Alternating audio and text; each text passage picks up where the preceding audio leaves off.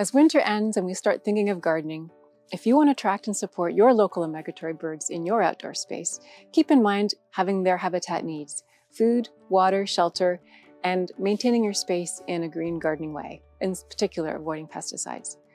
You can provide food by growing trees, shrubs, and perennials that offer fruit, nuts, and seeds that are so important for many of our birds. Native species are best because they have the right nutritional value that our birds need. Um, many birds also eat insects, and many more must have insects to feed their young. In fact, many need thousands for just one clutch of eggs. So if you can keep your garden as organically minded as possible, you're not contaminating that food source and you're helping your birds. Of course, if you want to have feeders in your garden, that's great with seeds and suet. Just keep in mind that is a supplement to natural food sources. One tip about suet is if you buy the kind without preservatives, that's best. Just keep it in your freezer and pop it out when it's time to put it on the, on the line. Shelter is another very important habitat element that birds need. You can provide this with all kinds of different trees and shrubs for them to escape inclement weather, hide from predators, rest, and of course, rear their young.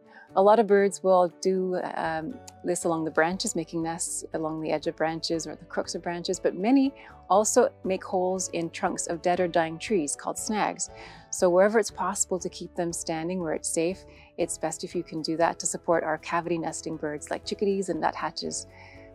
Another thing you can do for shelter is have dense vegetation. That allows them to feel safe where they're nesting. Water is the third habitat element that birds need. It's important that you have water in the warmer months when it's not frozen. Um, if, some people are tempted to have bird bath heaters, but that can cause problems because some birds are tempted to go in and they don't naturally need it in the wintertime anyhow. You can also have a recirculating stream or a pond with shallow edges.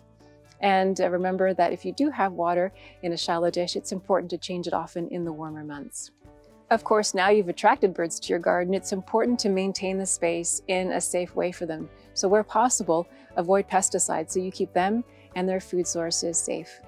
If you want to attract the northern cardinal to your property, uh, they're typically found in the easterly, southerly portion of Canada. Try planting some native shrubs such as dogwoods and winterberries, mulberries. They'll attract them for the food They'll also be great for nesting. Anything dense and shrubby is a good spot for them for nesting. Uh, northern cardinals will also eat grasses and sedge seeds. They'll eat insects and spiders. And if you want to have them at your feeder, encourage them with black sunflower seeds.